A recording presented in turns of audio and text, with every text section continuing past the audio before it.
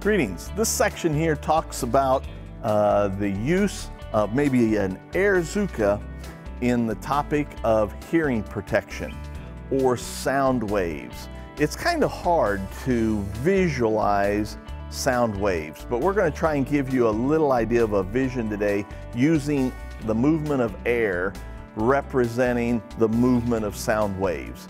And to do that, you can see we've got a couple styrofoam cups here on the table, and we have what is called an Airzooka.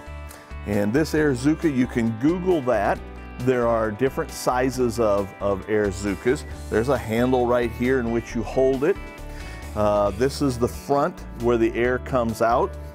The back of the Airzooka, this is just a, a, a plastic film, you might say, even like a trash bag type of plastic. And then there's a thing you pull back here and it's actually got an elastic band that pulls it forward.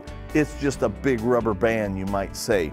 So what we're gonna do and how it actually works, we're gonna pull this back, we're gonna let go of it, and the elastic's gonna pull this back forward and push the air right out of here. So the only thing we're shooting is air, hence the name Airzooka.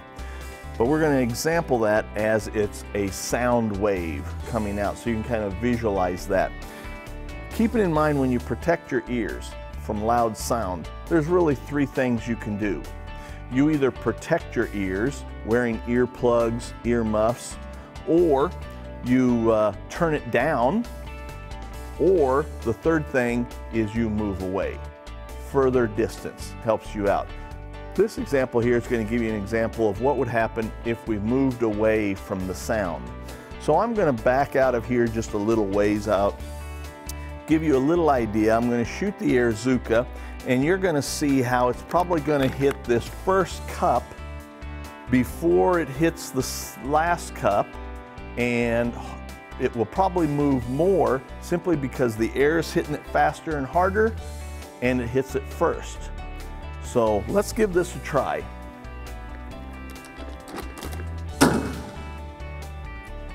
As you can see, as at that example, this cup here got blown over and relocated where the back cup just kind of moved a little bit. And in this situation, you can see where this noise level would have been much louder here than moving away at a farther distance. And you can do this as a hands-on activity and all of your kids can try this because they're gonna wanna see how that sound wave moves further away and you can build your own Airzooka, Google it, it shows you how to do that, or you can purchase this from Amazon, it's a $20 toy.